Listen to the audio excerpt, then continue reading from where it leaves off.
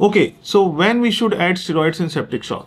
So understand that before 2021 sepsis guidelines, the protocol was that in septic shock, we used to give fluid resuscitation and then we start adding vasopressors. We add noradrenaline, adrenaline, vasopressin, dobutamine. And once all of these reaches their maximum doses, we add stress dose of steroid, which is hydrocortisone, uh, 50 milligrams 6 hourly. But after sepsis 2021 guidelines, the protocol change. Now they say that after fluid resuscitation, when you start adding vasopressors and when the dose of vasopressors or the requirement of vasopressors started going up, starts going up, like you start noradrenaline with 5 ml per hour and then you uh, reach to 10 to 15 ml per noradrenaline uh, per hour and you need to add vasopressin. That is the time when you should use stress dose of steroid, which is hydrocortisone 50 milligrams 6 hourly.